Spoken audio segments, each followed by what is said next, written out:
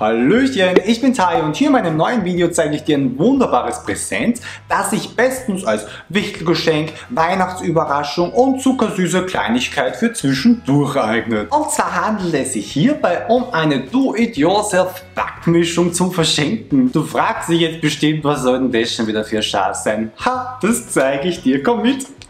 Wir verschenken eine selbst zusammengestellte Backmischung im Glas. Ich verwende hier eine sehr einfach zu machende Mischung, die sogar ganz ohne Ei und Butter auskommt. Also wirklich anspruchslos und auch für ungeübte Bäcker geeignet. Das Glas, man kann auch eine Flasche nehmen, wird schichtweise mit folgenden Zutaten gefüllt. 150 Gramm Mehl, 150 Gramm Nüsse bzw. so wie ich hier Haferflocken, 100 Gramm Zucker, 2 Teelöffel Backpulver und 50 Gramm Kakao. Das war's schon.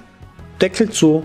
Auf ein Blatt Papier schreiben wir dann noch das Rezept auf. Rezept für leckere Brownies. Diese Backmischung gemeinsam mit ca. 150 ml Milch zu einem Teig verrühren bei 180 Grad Ober-Unterhitze für 20 bis 25 Minuten backen. Gutes Gelingen, dein Tayo. Am Glas befestigen wir jetzt einfach ein Geschenksband und auf dieses wird dann unser zusammengerolltes Rezept geknotet. Und schon ist unser Geschenk fertig.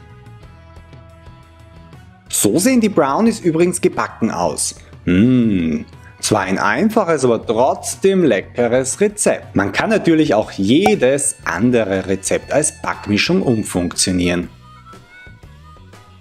Wenn dir mein Video gefallen hat, freue ich mich sehr über ein Däumchen nach oben von dir. Über ein Abo mit aktivierter Glocke würde ich mich ganz besonders freuen. Und schau dir doch gerne auch meine anderen Videos an. Das freut mich auch. Heute freut mich einfach alles. Tschüss, bis zum nächsten Mal.